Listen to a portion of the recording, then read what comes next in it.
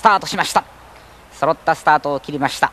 まず1周目。これから3コーナーの坂を上りに向かいます。さあ先手を取る馬はどれでしょうか？野村武蔵が行きますが内から南進エクセラー。そしてミスターアルマンが上がってまいりました。南進エクセラー先頭そしてミスターアルマンが2番手3番手西の雷電であります。4番手に野村武蔵おのおの1馬身の間隔。その後には5番手シンブラウンです。シンブラウンの後方は3馬身と開いていますが外をつきましてスーッとメジロモンスニーが行きますがこれをかわすようにしまして外からスーッと上がっていきました。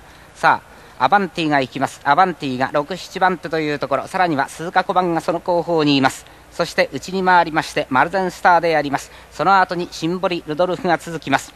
後方から 7, と7番目ぐらいのところですがその後にメジロモンスに内を回りました。桜凱旋そして内を回ってダイナーアイランドゴールドウェイ。さらにはその後方ですがミスター CB は後ろから2頭目。そして北海ペガサスといった展開でスタンド前に入ってまいります。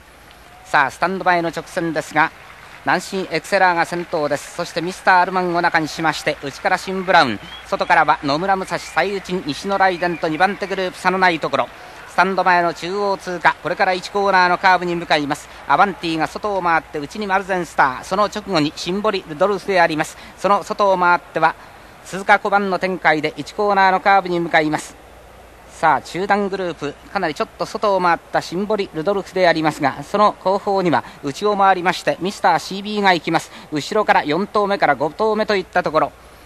前半のペースが1分40秒ぐらいのペース。マイルの標識を過ぎましてこれから2コーナーカーブ。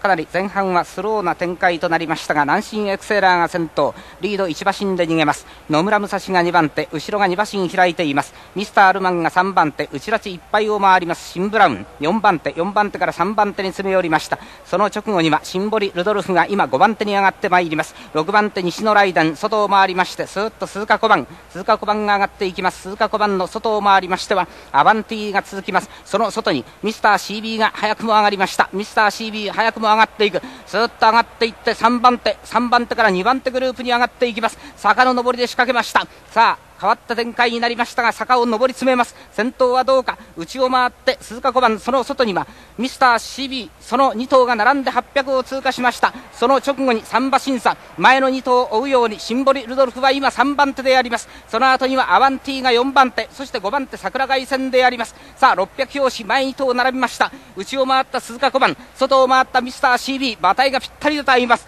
この2頭に2馬審査。外を回ってシンボリルドルフ今3番手。さあ400の標識を過ぎます。直線コースに向いた。先頭は鈴鹿小判か。外からはシンボリルドルフが来る。馬体を合わせた。ミスター CB はやや交代した。ミスター CB 交代。内から西のライデン突っ込んでくる。外をついて桜凱旋。ゴールまであと200に入った。シンボリルドルフ先頭。さあゴールまであと200五冠のゴールまであと 100m シンボリルドルフ。さあ懸命に食い下がったのは鈴鹿小判。外から桜凱旋を追い上げた。桜凱旋2番手に上がった。先頭はシンボリルドルフ。ゴール2番手桜凱旋です。